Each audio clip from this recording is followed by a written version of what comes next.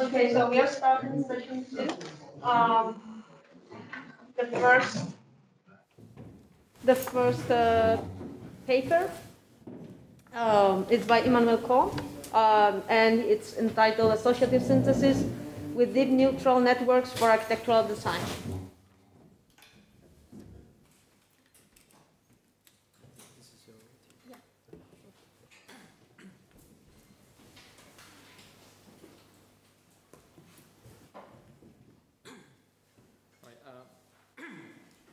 Hi guys, um, thanks for coming. Um, so, so yes, my name is Immanuel Koh. So I'm, I'm based in Singapore, um, where I teach and do my research at the Singapore University of Technology and Design. Um, I'm in the uh, Department of Architecture and also the new program, uh, Design AI uh, program. So, so um, what do I mean by associative synthesis? Um, as you can read from the title. Well, we, we could actually look at this term um, quite generally from two perspectives, um, each drawing from different domains. So, for instance, on the left, uh, one could think of uh, the bisociation by um, uh, Koestler um, in his book, The Act of Creation, or even the, the surrealist uh, René Magritte in this uh, Cenepa uh, in PIP, there, there are this idea of subjectivity, um, so kind of a contrast, right, with what we are used to when we talk about associative modeling. So on the left, you have the subjective versus the objective, the qualitative the versus the quantitative, the conceptual, which is something that uh, uh, talked about, uh, where different uh, frames of reference, when they intersect, there is this associative, associative context um, versus the geometric, the semantic versus the synthetic, the subconscious, uh, which is where the psychoanalytical part of it comes in, versus the conscious, um, and then the implicit versus the explicit, and uh, the paradoxical even, um, at least in the case of uh, the, the, the painting of the pipe, the treachery of images, and the logical. So the, the intention of the paper here then is, is uh, to combine these two um, strands of understanding uh, and, and observe how they may interplay in terms of how, uh, in terms of their associative affordance uh, for design. So on the, on the one hand, you have the human part and the, the deep learning part. Um, and so the, research question uh, is uh, how might deep learning models be appropriated for architectural co-creation through an associative design synthesis process? So the, the objective here, uh, in, in the presentation, you will see a series of uh, design research projects that leverages uh, the imagery impressions synthesized by deep generative uh, neural networks. Um, and also the formal interpretation uh, by human to then translate these translate these uh, imagery into uh, uh, architectural artifacts. And so this paper explored this associative interplay. Um, and the paper served to provide this, or rather proposes this framework. Um, to then uh, take advantage of the different capacity uh, in, in learning, perceiving, synthesizing, as afforded by both uh, humans and machine, and, and in a way kind of distribute the labor within the design process, um, which you will see in a bit. So um, I will show three different projects, um, kind of framed by such a format, brief, speculation, concept, data, model, and synthesis. And, and each of the three of them um, sort of illustrates the varying degrees of uh, associative affordance for co-creation. So um, these are uh, the, the projects that I will uh, elaborate. Um, so this association between the sculptures and landscape through the data set of Henry Moore's sculptures, uh, between fictions and, and facts uh, in the anime film, uh, Studio Ghibli's film, using the film as uh, a source of data for the training of the neural networks. And past and future, uh, particularly in this case, look at the Serpentine Pavilion uh, of 2020, which we all know uh, didn't exist uh, because, of the, uh, because of the pandemic. So here, um, I'll go through each of them one at a time. So for the first one, which is the on the sculptures and landscape, uh, is to look at the formal characteristics of sculptures and see how that may be appropriated for landscape architecture. And using segmentation models uh, to create the design data sets, and also using conditional uh, general adversarial networks for generating the design. So the, actually I moved too fast. Um, um, and so you will see in a bit in project two, uh, the models are uh, different. Um, so uh, in this case, the second one will be looking at the design generation, generation with, unconditional general adversarial network um, and also captioning, image captioning models to sort of serve as a uh, way to interpret these images in a non-human way. And then in the third project, uh, we'll look at the um, how to somehow predict uh, future serpentine pavilions based on the 20 years of uh, previous uh, design. And then with an added part where uh, a classification model is being used to classify the newly, newly generated uh, design according to their fidelity to the previous designs and also uh, other models for interpretation. So let's move uh, more quickly to the first one. Um, the design research project number one. Um, so again, as I mentioned, uh, the format follows uh, with a brief, kind of a pseudo brief. Um, so uh, sculpture part for Henry Moore. The, the speculation is that perhaps we may learn or inherit or appropriate some of the formal characteristics of sculptures as a kind of 2.5D relief and then the concept is really looking at how the uh, this association between the intricacy of the surface articulation of at the scale of a sculpture and that of a landscape, which seemingly are different uh, uh, kind of frames, frames of reference, as uh, what uh, would say. And so, kind of a quick. So on the left, uh, on the left, you could see well, on, on your left, yeah, some of the generated uh, sculptures trained using the Henry Moore um, data set from the Henry, Henry Moore Foundation. On the right is really the, the model looking at the latent space that the, the uh, neural networks has learned. So in this case, an unconditional general adversarial network.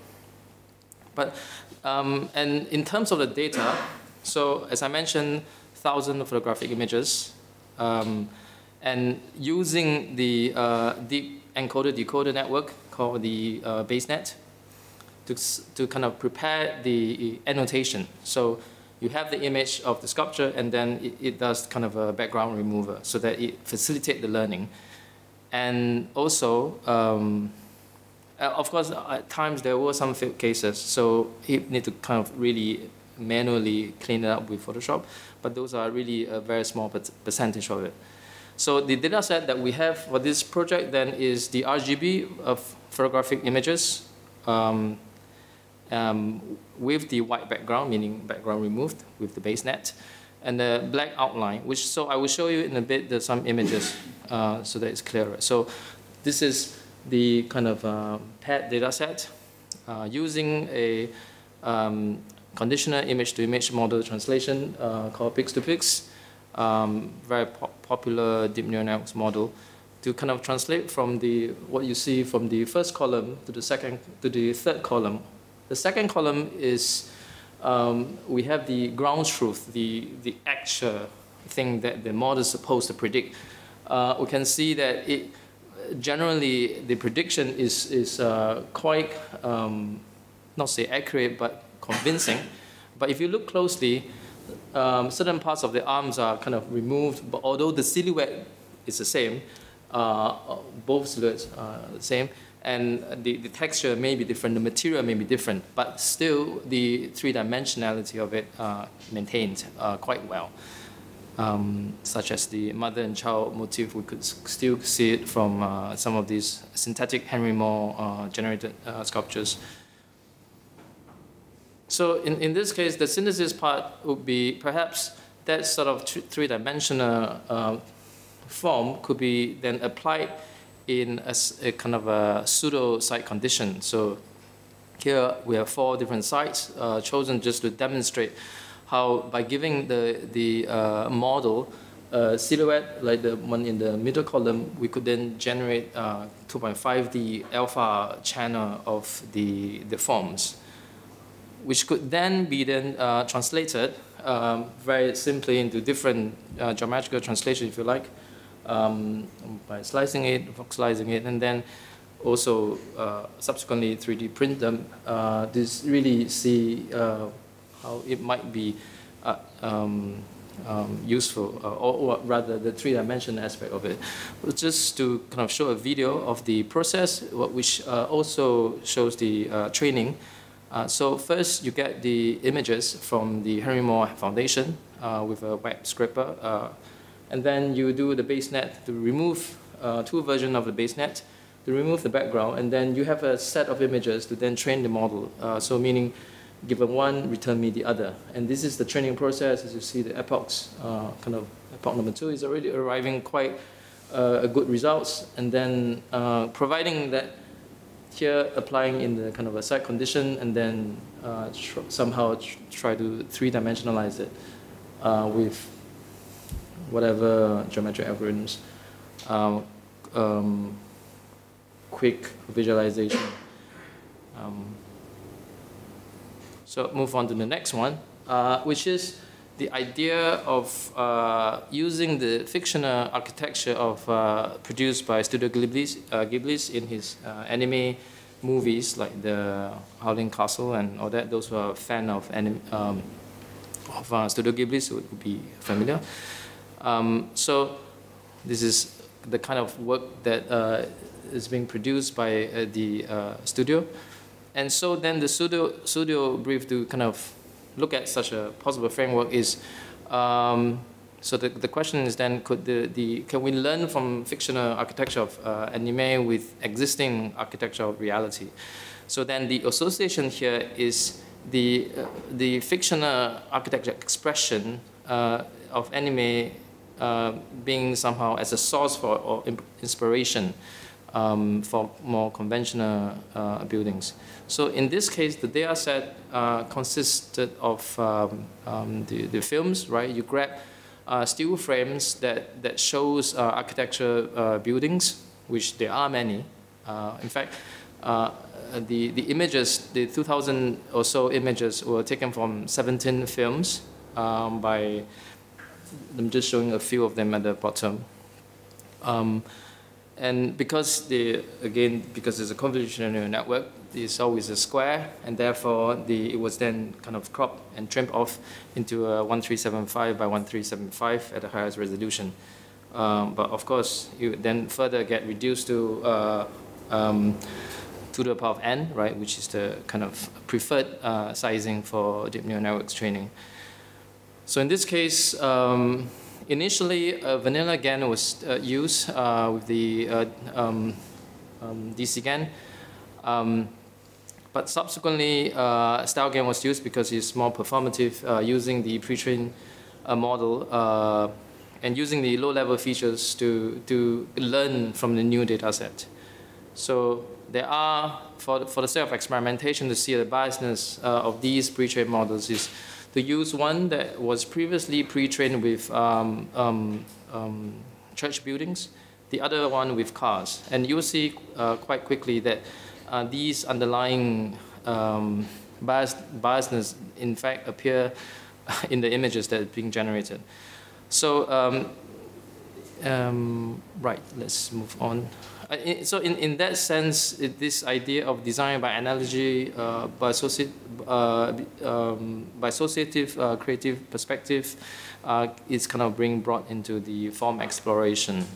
So here we see outputs of a model that was trained, um, kind of transferred learning, using a pre-trained StyleGAN 2 that was pre-trained with church buildings, we see these uh, images, they look very familiar in the exact same style of the uh, work from Studio Ghibli's, uh, simply because he, he, has so many films and they are all quite similar. It's, it's really perfect to do these sort of experiments.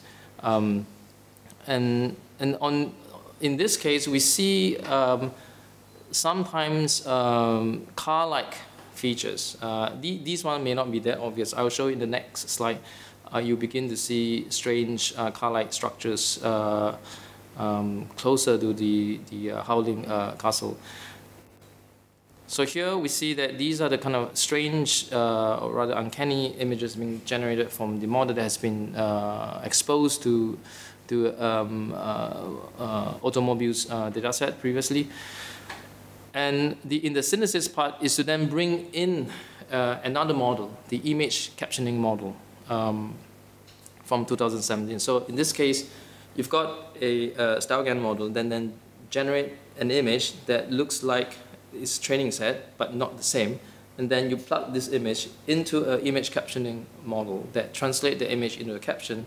Uh, then what we have then is is the sort, sort of interpretation of the, uh, of the output uh, from a model um, by a model, meaning non-human.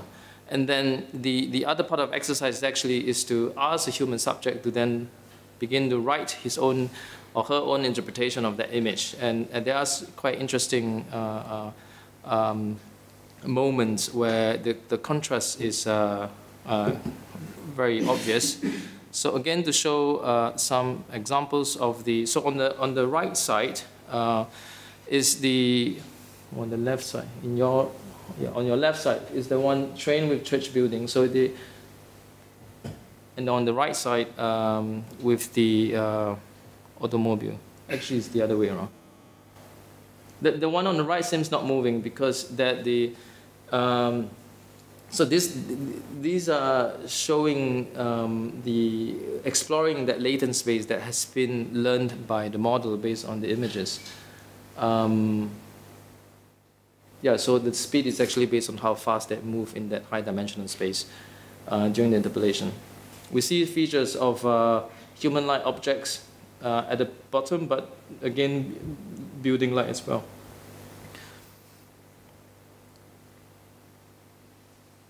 yeah, I think the right one is almost going to stop. Uh, but anyway, so uh, move on to the other project, which is uh, looking at how one might learn from uh, a limited number of buildings, or uh, in this case, uh, 20 different buildings from 2000 to 2019, the Serpentine Pavilion. This is also kind of a convenient example because the, the, the, the projects this, this, this, this one uh, will be quite familiar from Fujimoto. Um, um, it's quite convenient because you have the 20 different buildings, but you have the different representation of them in, you know, people take images, right? So in fact, every single project could be represented with thousands and thousands of images uh, to learn from. Uh, yet they have the same kind of context, right? It's the same size, same, even the same cost. Um, and same budget, right? Same budget, same duration of, of um, the, the uh, building being a temporary pavilion. So here the brief then is to build that unbuilt Serpentine Pavilion of uh, 2020. Can we actually do that? Can we learn from the former progression of previous buildings? Um, so here is to, um, so here for instance the data set consists about 5,000 or so images representing the 20 past uh, pavilions. Um, and so at the bottom from 2000 onwards, Zaha, and all the way to the more recent one. Uh, so and also 20 classes, right? So the first cut, there are a few stages to this particular project. So the first cut is a bit similar as the the the the uh, Studio Ghibli's project, uh, which is using a StyleGAN 2 pre-trained with uh, with church buildings and then do a transfer learning using our own data set. And then these are the generated uh, so-called fake version of the different pavilions. But then the, uh, the other part of this project is then um, is to use a classifier, right? So are we able to say, um, you have trained this first AI model, it generates a pavilion that looks like that looks a bit similar to one or few or many of those in the training set, meaning that 20 buildings. And then we plug um, an, another model, which is a classification model, to tell you exactly to 50% uh, of it looks like Zaha, 20% of it looks like Gehry's uh, pavilion. Um, and then, so you will see in a bit uh, this kind of uh, convoluted way of thinking about plugging different neural networks to perform uh, at times uh, reflection about the synthesized images. So here, the, a similar thing uh, as you saw just now uh, with the Henry Moore uh, um, and the Studio Ghibli's project, the anime project, uh, the, again in the latent space. So here we see that the biasness appeared quite quickly because it was using the same pre-trained model uh, with uh, church buildings. We see that pitch roof quite, quite obvious, but oftentimes you see like the, this red color, quite Jean Nouvel kind of, uh, and sometimes you see Zumthor also with these uh, black walls and so there, there um, yeah, in fact, during the, the, the, the training uh, was deliberately, have deliberately removed quite a number of the so, so Fujimoto building because it's creating this biasness in the entire data set because we just have more. Um, and just to ensure that uh, each of the diff 20 different pavilions uh, has been well represented. You know, move on quickly. Um, so here, uh, the question then is, what are the criteria for selecting an output that should bear potential for architecture trans translation? I mean, there are so many. So uh, apparently, uh, a few kind of uh, visually identifiable features would be uh, it will be uh, a well-formed design is one that is uh, should be architectonically readable and, and it should be novel. It should not simply copy uh, from the training set, meaning you could see the exact design of, of the, one of the 20, uh, uh, 20 pavilions. And it should not be locally re repetitive, meaning patterns being kind of pasted all over uh, there should be a difference in the silhouette at least. So here uh, is what I'm saying that given uh, the synthesized image on the right, on the left, right, uh, those with the numbers, um, I have a classification model to tell us uh, how, what's the percentage distribution for different uh, different inputs, sorry, different um, outputs images, right? So we could see that sometimes a good balance, balance uh, at least based on how the experiment has been framed, a good balance would be uh, three, two to three or four different um, classes that dominate the uh, classification of a single output uh, image. And this is kind of a more uh, Excel um, view of it. And lastly would be then uh, plugging another model um, that allow us to investigate which are the uh, neurons that have been activated during the process of classification and also the um, so this is the kind of the last part of the third what is in the third model um, which is the investigate neural network um, so you see that certain parts have been kind of identified by the, by the model uh, uh, as, as important features. Um, okay I, I think I'm running short of time um, so I will move on. The next slide shows kind of a way to somehow translate this, right? So in the case of the Serpentine Pavilion, it's interesting because we do have the construction drawings of the previous 20 different pavilions. And if we could say, given an image that generated by the first AI model, tell me uh, what's the distribution of their similarities to the previous 20 pavilions, we could then look for that top three or two and search for their construction drawings and then use that as a way to kind of align the, the uh, stylistic uh, uh um, uh, intervention in, in kind of a more consistent uh, or, or, coherent way. So in this case, an image in the middle is the output, and surrounding it at the top, uh, you have three different style, meaning three different parts pavilion. And then we can look at the different drawings to see somehow to do this translation um, um, by the human architect. And the, in this case, the same exact image with the same references could produce very different um, interpretation. These are done by two different human subjects. Um, so, so the conclusion then uh, is to is that the whole co-creative process is actually quite messy and it's rather necessary to be strategic about the labor distribution. So therefore making full use of the strength and, and weaknesses of the machine, meaning in this case deep neural network, uh, whether is it generative or discriminative, um, and, and the human intuition that brings in the, the kind of uh, background uh, information, the culture, maybe cultural, maybe political, maybe, um, yeah, very personal interpretation, even sometimes, as I say, paradoxical.